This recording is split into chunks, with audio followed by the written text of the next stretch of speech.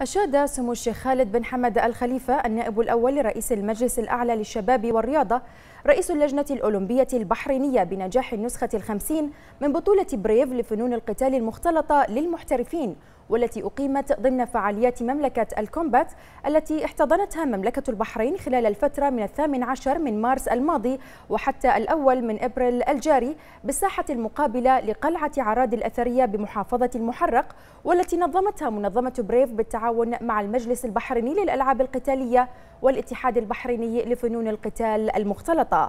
وقال سموه إن هذا النجاح الذي حققته هذه النسخة من بريف يضاف لسلسلة النجاحات التي حققتها البطولة منذ انطلاقها في الثالث والعشرين من سبتمبر عام 2016 على أرض مملكة البحرين والذي جاء بفضل الرعاية والدعم الذي حظي بهما من لدن سيد الوالد حضرة صاحب الجلالة الملك حمد بن عيسى الخليفة عاهل البلاد المفدى حفظه الله ورعاه.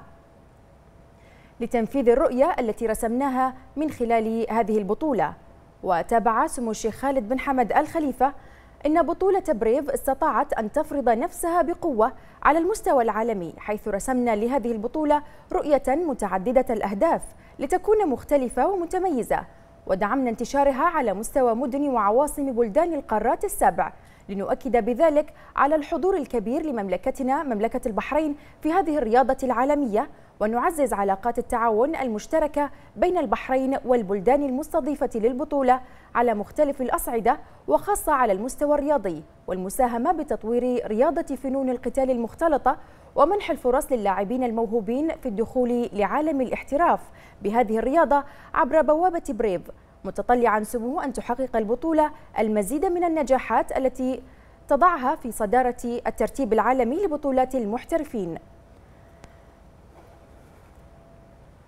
وأثنى سموه على الجهود الكبيرة التي بذلتها منظمة بريف بالتعاون مع المجلس البحريني للألعاب القتالية والاتحاد البحريني لفنون القتال المختلطة في الإعداد والتحضير لإقامة فعاليات مملكة الكومبات على أرض مملكة البحرين في ظل الظروف الاستثنائية التي فرضتها جائحة كورونا كوفيد 19 والتي شهدت إقامة أربع نسخ السابعة والأربعين والثامنة والأربعين والتاسعة والأربعين والخمسين.